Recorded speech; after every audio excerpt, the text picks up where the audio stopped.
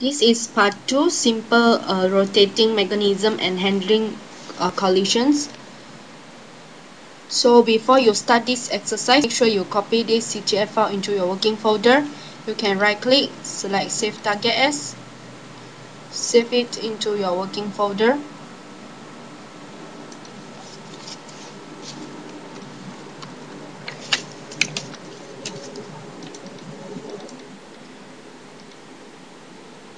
Okay after that we go to file unpack.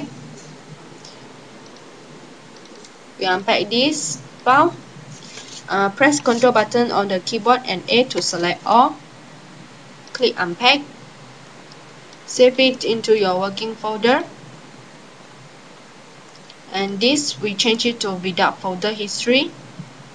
Select OK now we uh, load this file load the simple to this. Next we go to analysis motion analysis. And then we select uh, this base for the first rigid. Right click select new set. And then this is for the second one. Click here. Right click select new set. And this is the third one. Right click and select new set okay now I change the color. Change to this pink color and this change to green. And this is blue. Okay after that uh, I fix the rigid set 1 okay and then we go to set motion step. And then we double click here. And the linear uh, option we change to angular option. And then select the axis. We select this face okay and then the arrow is pointing upward.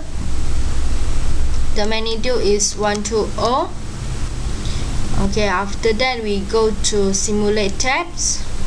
Click check. So this is the result. Close it and then we click calculate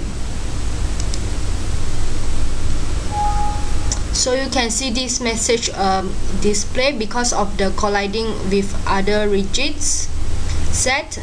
And this line uh, is